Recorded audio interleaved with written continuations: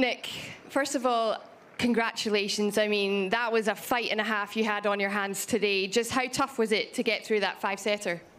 Uh, it was incredibly tough. Uh, obviously, you know, he's a local wild card. He had nothing to lose, and he just enjoyed the moment. He played some exceptional tennis at times. Um, you know, uh, the crowd was pretty rowdy today.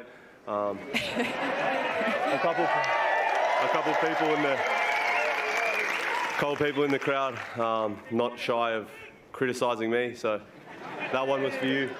Um, you know who you are. Um, but no, he's a, he's going to be a good player. Uh, that's for sure. Um, so you know, I'm just happy to get through. I, th- I think there's also a few in this crowd who are supporting you as well, right?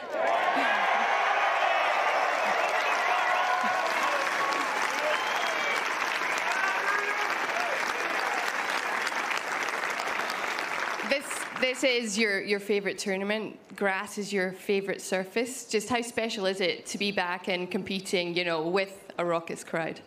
Um, it's a lot of fun. Uh, obviously, um, you know, Wimbledon the last couple of years has been a strange one. Obviously, bubble last year, and this year no ranking points. So it's a bit of a it's a bit of a different feel, but it's always obviously special coming out here every time. Playing in front of full courts like this is, is pretty is pretty special. Um, you know, I thought I was going to go down there for a bit, and that would probably would have been a tough, tough loss to, to take. But um, you know, I'm just happy to be through and now just rest up.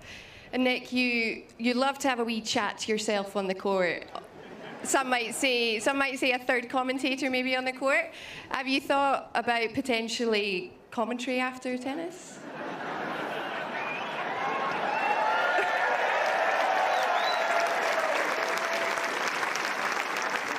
Um, maybe. Um, Go on, give us some more than that. no, I just I just talk a lot uh, on court, but um, you know, off the court I'm not too bad, but on the court it's just it's crazy. But uh, you know, if they pay me well enough, I'll probably do it.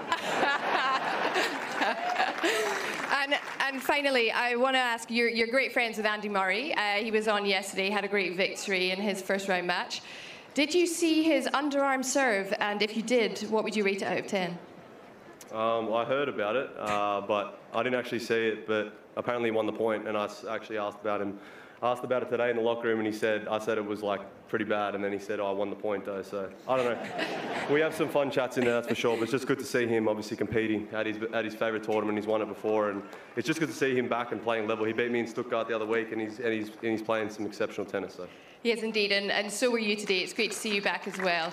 Congratulations.